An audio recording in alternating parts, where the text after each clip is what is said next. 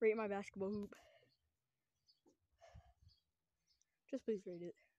I get no views on my videos, and I really want views. And subscribes and likes. So remember to like and subscribe. See you guys.